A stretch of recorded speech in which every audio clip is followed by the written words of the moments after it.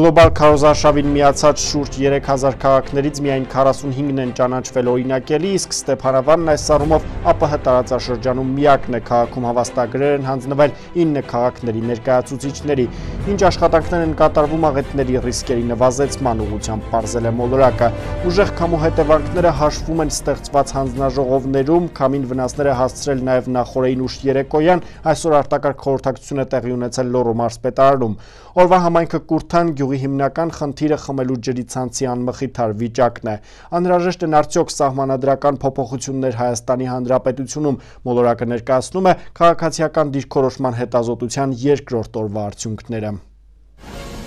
Ֆորտունայի եթերում լրատվության ժամ է, դուք դիտում եք մոլորակի հիմնական թողարկումը, բարև ձեզ։ Եվ այսպես գլոբալ քարոզարշավին միացած շուրջ 3000 քաղաքներից միայն 45-ն են ճանաչվել օրինակելի, իսկ Ստեփանավանն այս առումով ԱՊՀ տարածաշրջանում միակն է։ Քաղաքում հավաստագրեր են հանձնվել 9 քաղաքների ներկայացուցիչների, ինչ աշխատանքներ են կատարվում աղետների ռիսկերի նվազեցման ուղղությամբ, բարձել է Վաչե Մատինյանը։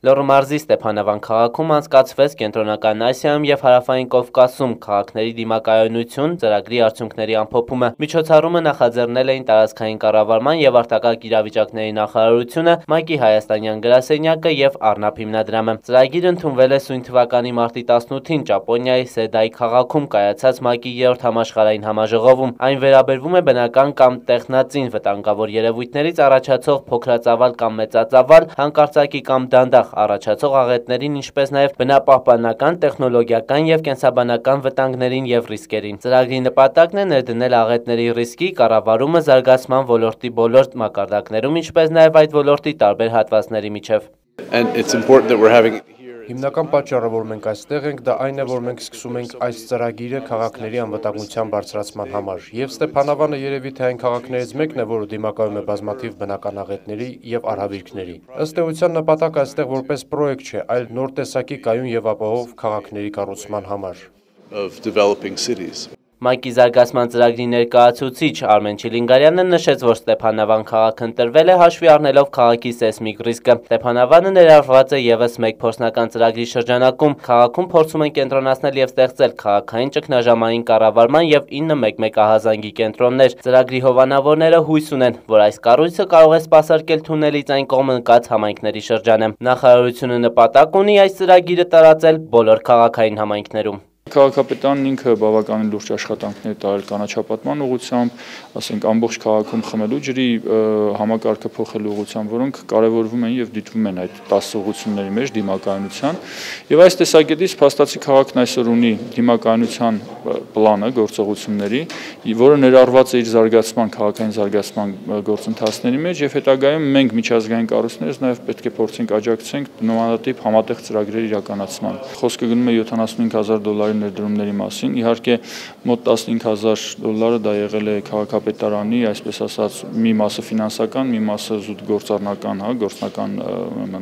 տեխնիկայի տրամադրում աշխատուժ եւ այլ եւ այլ իր աջակցությունը։ Բայց մոտավորապես փաստորեն 60-ից 65000 դոլարի ներդրումներ են եղել, որոնք հիմնականում ուղղված են եղել եւ կանաչապատման խնդիրներին եւ հատկապես ուրեմն արևային այդ տակացուցիչների ներդրմանը մանկապարտեզներում 2014 թվականին Ստեփանավանը միացել է ՄԱԿ-ի, դարձնեն քաղաքները դիմակայուն, իմ քաղաքը պատրաստվում է գլոբալ քարոզարշավին։ Միջազգային եւ տեղական գործընկերների աջակցությամբ քաղաքում իրականացվում են դիմակայության մշակութային ներդրման ու զարգացման ուղղված մի շարք ծրագրեր։ Դրանք մեկնարկել են 2010 թվականին ՄԱԿ-ի աղետների նվազեցման միջազգային ռազմավարության գրասենյակի եւ գործընկեր կառույցների համատեղ ջանքերով։ Ծրագրի նպատակն է հզորացնել տեղական իշխանությունների դերն ու կարողությունները աղետների ռիսկի նվազեցման բացեցման գործում։ Ստեփանավանի քաղաքապետ Միքայել Ղարաքեշիշյանը ողջունեց ներկաներին, նշեց, որ վերջին հանդիպումը, որը տեղի է ունեցել Ճապոնիայի Սենդայ քաղաքում, Ստեփանավանը դիմակայության տեսանկյունից ճանաչվել է օրինակելի քաղաք։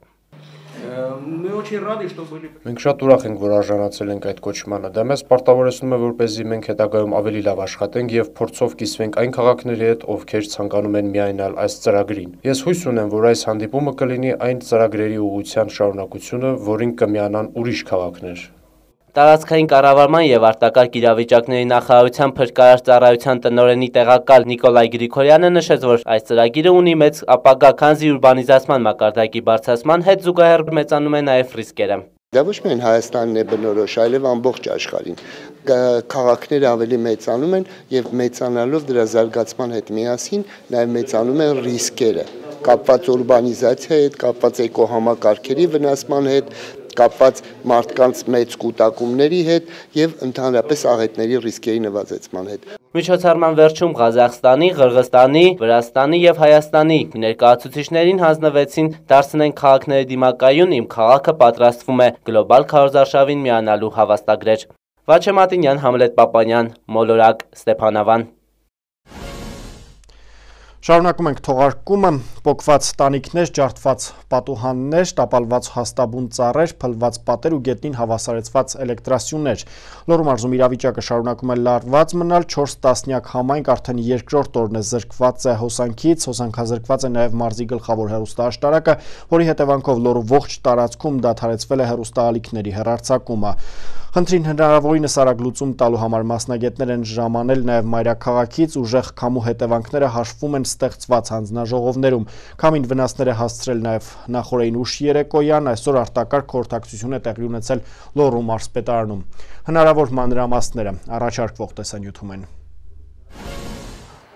Լոռու մարզում 43 համայնք ներկայումս հոսանքազրկված է։ Երևանից եւս բրիգադներ են ժամանում վնասները արագ վերականգնելու նպատակով։ Հոսանքազրկումների հետևանքով առողջապահական հիմնարկները շտապ կերպով անցել են այլընտրանքային էլեկտրամատակարարմանը եւ աշխատանքները չեն տուժել։ Գիշերը եւս ուժեղ քամին շարունակվել է, որի հետևանքով մի քանի տասնյակ շենքերի տանիքներ պոկվել ու շպրտվել են մի քանի մետրային կողմ, տապալվել են ծառեր։ Վանաձորում ծառեր են ընկել նաեւ ավտոմեքենաների վրա, հասցնելով լուրջ վնասներ։ Վանաձորի 27-րդ եւ 16-րդ երրորդ դպրոցների տանիքները ամբողջությամբ քամին գետնին է հավասարեցրել։ Մարզի մեկ դպրոցում հնարավոր չի եղել դասապրոցես իրականացնել։ Այս պահին իրականացվում են անհետաձգելի վթարաբերականողական աշխատանքներ։ Երևի քաղաքում տեսել եք, որ բոլոր բրիգադաները աշխատում են, Մարզում ստեղծված իրավիճակի մասին այսօր հատուկ խորհրդակցություն է տեղի ունեցել Լոռու մարզպետարանում։ Մարզպետը հանձնարարել է ստեղծված հանձնաժողովներին հնարավորինս ծեղմ ժամկետներում մարզպետարան ներկայացնել վնասի ընդհանուր չափը, որպեսզի կազմվի արձանագրություն եւ ուղարկվի կառավարություն։ Մարսպետը նաև հանձնարարել է արկա հնարավորությունների սահմանում արագ կերպով վերացնել հետևանքները, մաքրել փողոցները, քանի դեռ տեղումներ չկան, նաև վերանորոգել բազմաբնակարանանոց շենքերի տանիքները։ Ուսումնավարչական մասնաշենքի տանիքից լրիվ չիֆերները թերթավոր պես տեսնում եք հիմա շփրտես միքու լուղավազանի, այսինքն սպորտզալիչի, մարզադալիչի տանիքից թերթավոր շիֆերներ կարելի է տեսնել, նույնը դեղատանը մոտ 20-30 շիֆեր Վանաձորի պետական բժշկական քոլեջի տանիքը քամին քշել է դասապրոցեսի ժամանակ։ Սեփական միջոցներով նորոգման աշխատանքներն արդեն ընթացքի մեջ են։ Նկարահանման պահին դասերը դադարեցված էին հոսանքի բացակայության պատճառով։ Ժամը 13:30-ի սահմանումներ ընթանում էր նորմալ մեր մոտ դասերը, Եվ անմիջապես կամին բարձացավ եւ տանեկներից մենք զգացում որ շոֆերները արդեն նետում են։ Հիմա ես իմ ուժերով ինչ հնարավոր է ամրացնում եմ։ Ամրացման աշխատանքները գնում են։ Երեկվանից մինչև հիմա լույս չկա ուսումնական հաստատություն։ Ամեն առաջնահերթ խնդիրը դա որ լուսավորվի։ Վնասվել են գլխավոր մասնաշենքի հարևանությամբ գործող դեղատան, սպորտ դահլիճի, ինչպես նաև ատամնատեխնիկական լաբորատորիայի տանիքները։ Արագացված տեմպերով կատարվում են նորոգման աշխատանքներ։ Վնասի չափը դեռևս ճշտված չէ, մեծ զրույցում նշեց տնտեսվար Վալոդիա Սիմոնյանը։ Օրվա համայնքը Կուրթան գյուղում գլխավոր խնդիրը խմելու ջրի ցանցի անմխիթար վիճակն է։ Գյուղապետի հետ այս եւ այլ խնդիրների հետ զրուցել է Անի Հարությունյանը։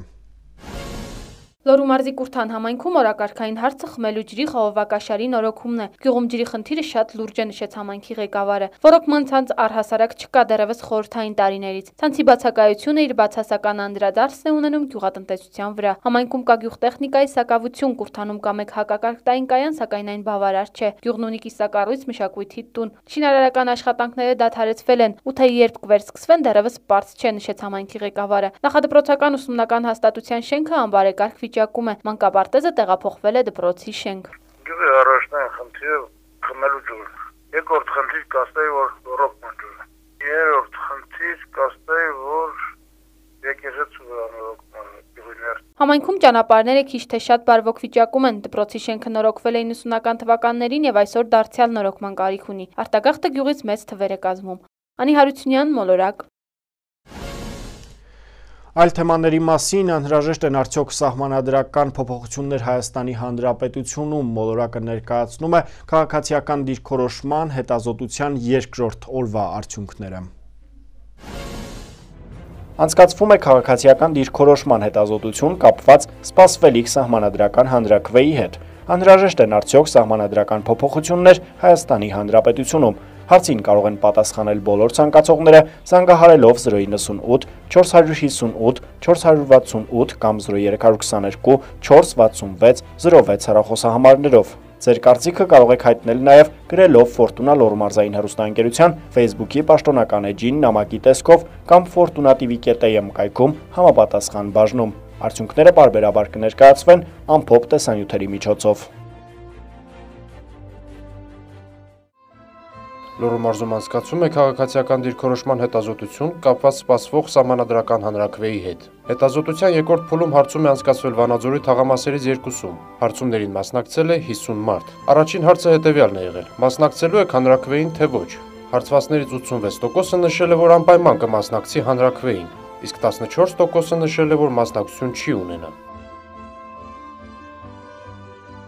Ացիկ ջան գնալու եմ, բայց չեմ կարալ ասեմ, ասենք որոշում չունենք, էլի հա կամ չեն, չգիտենք հլա։ Բա ինչի հետ է կապված, որ դեռ չեք որոշում։ Որովհետեւ դե մենք դրա միտքը չենք հասկանում։ Իսկ համանդրական փոփոխություններին ընտրություններին գնալու եք։ Չէ երևի։ Կներեք։ Հետաքրքիր չի։ Գնալու եք համանդրական փոփոխությունների ընտրություններին։ Երկրորդ հարցը հետևյալն է եղել. անհրաժեշտ են արդյոք սահմանադրական փոփոխություններ Հայաստանի Հանրապետությունում։ Ընտրություններին մասնակցել ցանկացողների 48.8%-ը նշել է, որ Հայաստանում անհրաժեշտ են սահմանադրական փոփոխություններ, իսկ 25.6%-ը նշել է, որ փոփոխություններ անհրաժեշտ չեն։ 9.3%-ը նշել է, որ դեռևս կողմնորոշված չէ, անհրաժեշտ են փոփոխություններ թե ոչ։ Իսկ հա 11.6%-ը առհասարակ իրազեկված չի գործընթացների վերաբերյալ։ 7%-ներ գախնի է ողել իր դիրքորոշումը հարցի վերաբերյալ։ Ի տարբերություն նախորդ հարցումների, այս անգամ հարցման մասնակցած քաղաքացիների մեծ մասը իրազեկված է եղել գործընթացի մասին։ Իսկ ինչ կարծիք ունեք, պետք են մեր փոփոխություններ թե ոչ։ Իհարկե պետք է, հələ մի հատ է տենց փոխենք էլի։ Պետք է փոփոխություն էլի որ ասա ժողովուրդը իր հողի վրա նստի։ Որքան կլինի քամուր գնությունը առաջիկայում կպատմի Անի Մարուկյանը կարճատև դադարից հետո, իսկ ես ձեզ հրաժեշտ եմ տալիս եւ մաղթում ամենայն բարիք եւ հաճելի հանգստյան օրեր ցտեսություն։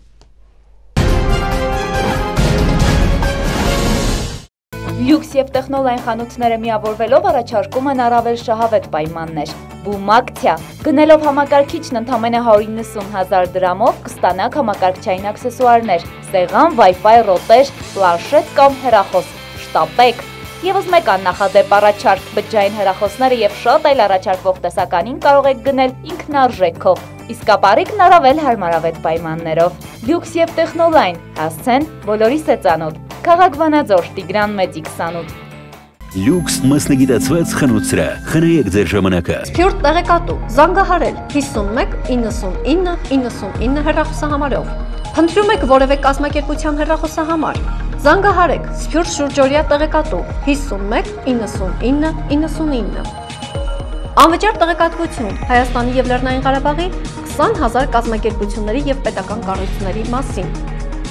Սփյուռ տեղեկատու 51 99 99 Անհրաժեշտ տեղեկատվություն օրվա ցանկացած պահին. 51 99 99 Էվադենտ ստոմատոլոգիական կլինիկա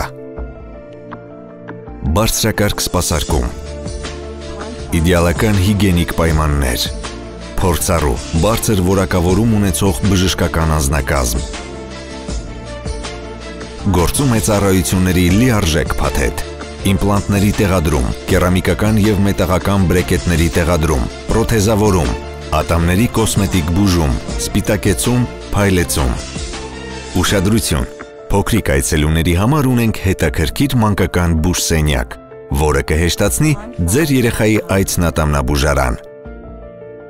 Eva Dent, ձեր գեղեցիկ ժպիտը մեր այցեքարտն է։ Շուրջ 10 տարի առաջ 68 ուսանողի համար իր դռները բացեց Հայաստանի ազգային agrarային համասանի Վանաձորի մասնաճյուղը։ Այժմ բարձրագույն մասնագիտական կրթություն է ստանում 500 ուսանող։ Տնօրինության մշտական ուշադրության կենտրոնում են ուսումնական բազայի հզորացումն ու կրթության որակի բարելավումը։ Բարեկարգվում է ուսումնական մասնաշենքը։ Մասնաճյուղում գործում են անասնաբուժասանիտարական փորձաքննության, սննդի անվտանգության, գեոդեզիայի, գյուղմեքենաների եւ սարքավորումների, ավտոմոբիլների եւ տրակտորների մեքենաների, մասերի, ֆիզիկայի եւ էլեկտրոտեխնիկայի, հողային հետազոտությունների եւ այլ լաբորատորիաներ ու կաբինետներ։ Ժամանակակից տեխնիկական միջոցներով հագեցած կոնֆերանս դահլիճը հնարավորություն է տալիս լիարժեք խորհրդատվություն անցկացնելու համար։ Ագրոտուրիզմի զարգացման բնագավառում մասնավորապես տուրօպերատորների եւ շահագրգիռ ֆերմերների վերապատրաստման գործընթացում Հայաստանի ազգային ագրարային համասանի Վանաձորի մասնաճյուղը սրտորեն համագործակցում է Լոռու մարզպետարանի եւ Ֆրանսիայի Պակա մարզային խորհրդի հետ։ Բարև ձեզ։ Եղանակի տեսության աջակիցներն են Հայաստանի ազգային ագրարային համալսարանի Վանաձորի մասնաճյուղը, Էվադենս ստոմատոլոգիական կլինիկան, ինչպես նաև տեխնոլայն եւ լյուքս էլեկտրոտեխնիկայի խանութ սիրահների ցանցը։ Այժմ խոսենք եղանակի մասին։ Լոռու մարզում նոյեմբերի 14-ին օդի միջին ջերմաստիճանը կանխատեսվում է մինչև 12 աստիճան տաքություն։ Այժմ ջերմաստիճանն ըստ քաղաքների։ Տաշիրում գիշերը սպասվում է 1 ցերեկը մինչև 9 աստիճան տաքություն։ Ալավերդիում գիշերը 4 ցերեկը սպասվում է մինչև 13 աստիճան։ Սպիտակում գիշերը 1 ցերեկը մինչև 9, Ստեփանավանում գիշերային ժամերին կանխատեսվում է 2, ցերեկը կբարձրանա մինչև 11 աստիճան։ Վանաձորում գիշերը 4, ցերեկը կբարձրանա մինչև 12, Մայրաքաղաքում գիշերը կդիտվի 1, ցերեկը կբարձրանա մինչև 12 աստիճան։ Հանրապետության տարածքում նոյեմբերի 14-ի գիշերը 18-ին շրջանների մեծ մասում սպասվում են տեղումներ։ Նոյեմբերի 14-ի ցերեկը 15-ից 17-ին սպասվում են առանց տեղումների եղանակ։ Քամին հյուսիսարևմտյան է 2-ից 5 մետր վարկյան արագությամբ։ 14-ի գիշերը առանձին շրջաններում սպասվում է քամուշ գնացում 25-ից 30 մետր վարկյան արագությամբ։ Օդի ջերմաստիճանը 14-ին 15-ի գիշերը աստիճանաբար կնվազի 2-ից 4 աստիճանով, 16-ից 17-ին նույնքան կբարձրանա։ Երևանում նոյեմբերի 14-ի գիշերը 18-ին հնարավոր է անձրև, քամուշ գնացում 18-ից 23 մետր վարկյան։ 14-ի ցերեկը 15-ից 17-ին սպասվում է առանց տեղումների եղանակ։ Երեկ մինչև ուժ երեկո մարզերում ուժեղ քամու հետևանքով արմատախիլ են եղել ծառեր փոկվել են շենքերի տանիքներ։ Մինչև հիմա համայնքներ կան, որոնք հոսանքազրկված են։ Մինչև հիմա համեմատաբար մեղմացել է նաև քամին։ Մարզպետարանում խորհրդակցություն է ընթանում քամի քամու հասցրած վնասների չափերի մասին։ Եվ մեկ եղանակային լուր աշխարից Հնդկաստանի հարավային Թայմիլանդու նահանգներում հեղեղներ են։ Զոհերի թիվը հասել է մինչև 50-ի։ Հորդարատ անձրևներն արդեն 5-րդ օրն չեն դադարում նահանգի վարչական կենտրոն Չենայի քաղաքում։ Երկաթգծերի հեղեղման պատճառով Չենայի կենտրոնից չեն մեկնում գնացքները, փակ են նաև ուսումնական հաստատությունները։ Թամիլանդուի ափերին Բենգալյան ծոցի վրա նոյեմբերի 9-ին ցածր մթնոլորտային ճնշում է հաստատվել առաջ բերերով հորդարատ անձրևներ եւ հեղեղներ։ Եղանակային տեսությունը այսօր այսքանն էր, ամենայն բարիք ձեզ։ Ցտեսություն։